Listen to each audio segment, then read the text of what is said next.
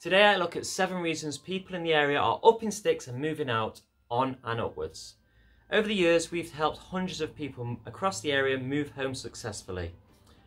The reasons why people move are varied, but in our experience they tend to be one of the seven L's. What are the seven L's I hear you say? Fear not, dear listener, because I'm about to reveal them here below. Number one, love.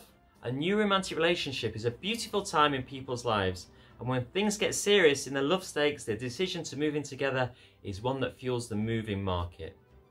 Next up is loss. Sadly, on the flip side, when a loved one dies or a relationship ends, this can also be a catalyst for people to want to move out and onto a different chapter of their lives.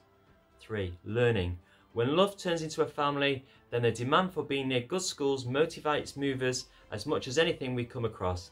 That's why people will pay a premium to be within the catchment areas are great places for their children to learn and develop.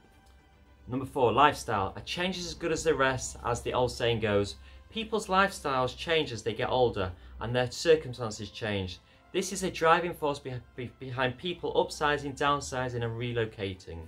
Number five, location, location, location.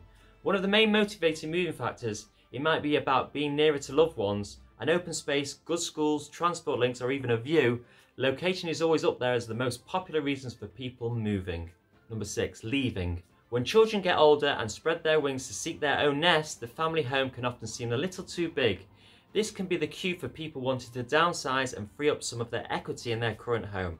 7. Lockdown. The pandemic has made us re-evaluate our lives and spending so much time indoors and at home has made people want somewhere new to live. It could be because of the lack of space, a need for a garden or to be nearer loved ones.